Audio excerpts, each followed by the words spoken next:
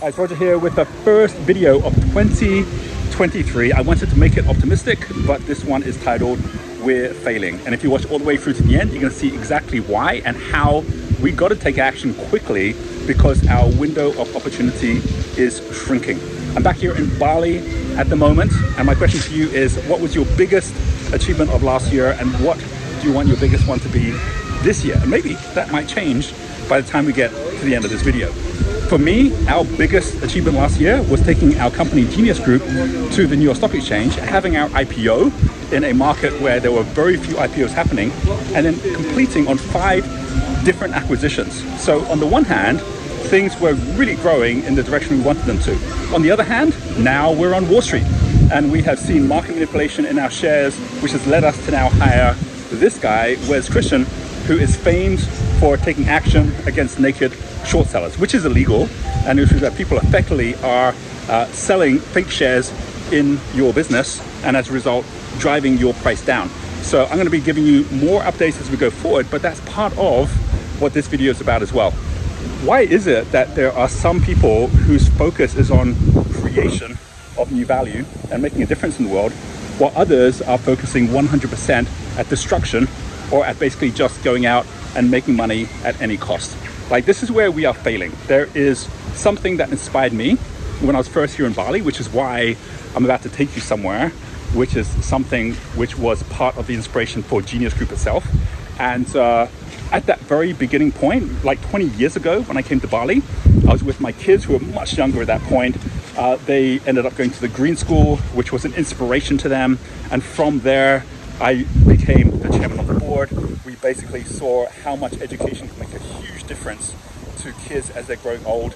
And it made me think, well, I'm an entrepreneur. Anyone could learn how to be an entrepreneur or an investor. Why isn't there a curriculum system that would allow that to happen? And someone who had inspired me from an early age, his name was Buckminster Fuller.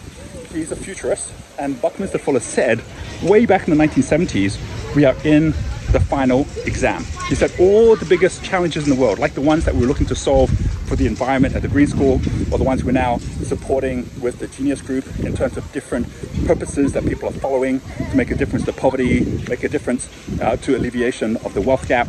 He said that all of these biggest challenges can be solved with technology. He said that they're all distribution challenges. So, for example, when we say there's hunger, it doesn't mean there isn't enough food, there's food mountains.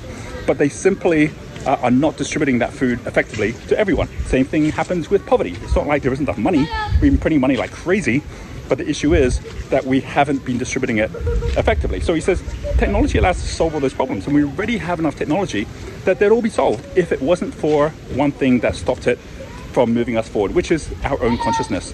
He said that the issue with human consciousness is that if we're not collectively working together and we're competing with each other and we're in a zero sum game, then we're always going to have that technology end up being in a position where it's either going to be harnessed or it's going to be destroyed. He says this is the final exam. If we harness it, which means we accelerate our own consciousness through education, then we're going to be in a position where we can then solve all the world's challenges. And we'll see this happen within just a very small frame of about three decades. That's, he said this back in the 1970s. So we're like running out of time right now. The opposite will also happen that if we don't harness that technology, it will keep accelerating until AI becomes so powerful, robotics becomes so powerful, we end up basically in a machine driven world of evolution where human evolution gets left behind. Something called the singularity, where we basically end up with technology itself, if we're not able to harness it, harnessing us, destroying humanity. And he said that's why it's called the final exam. There's no exam after this. And I remember when I heard that, I was so intent myself on seeing how can we shift the consciousness of those that actually want to shift to actually start working collectively together. Those were in those early days of entrepreneurship. And I realized that entrepreneurship itself is something that allows us to do this. So that's why we set up Genius Group. Genius Group comes from that quote, everyone is born a genius, but if you judge a fish by its ability to climb a tree, it'll go through its whole life believing that it's stupid. So the idea that we should all have a personalized path that's right for us, that fits our passion, our purpose, our talents, uh, that allows us to be able to not be judged by what we're failing, but what we're actually succeeding in. And then from there, basically, for each of us to be able to contribute in the most effective way through lifelong journey and through an entrepreneurial uh, education system. This is what Genius Group is all about. And so for us, this year is the year of the education revolution. We're bringing together all of our partners, our faculty, our community partners, our city leaders, our country leaders, and we're now growing our student population to the next level as we actually turn our education system into a fully accredited system together with the university that we've acquired, which is in California. So what I'm sharing with you right now is the fact that we are number one in a window of opportunity, where number two, we have to either choose, do we want to be on the side of value creation or we're going to be sitting on the side of value destruction, which means that our consciousness is growing, or is it actually dropping? And number three, are we doing this collectively together? Where if you want to come work with us, then you can be one of our students, one of our partners, or even one of our investors and support what should be one of the best success stories of the year. Here I am now at Genius Cafe.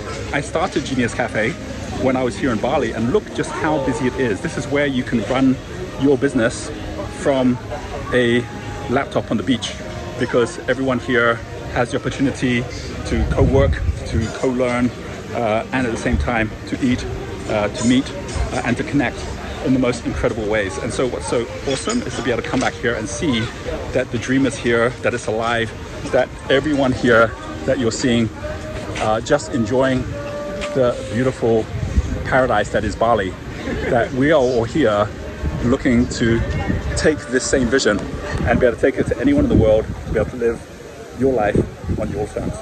So I want to say, hopefully you'll be following our journey as we go through this year, battling the rogue traders, uh, growing our student base, uh, attracting incredible faculty entrepreneurs from all over the world to be part of the cause as well. And I hope that you'll stay in tune uh, and be part of this journey with us as well. We'll see you on the next video.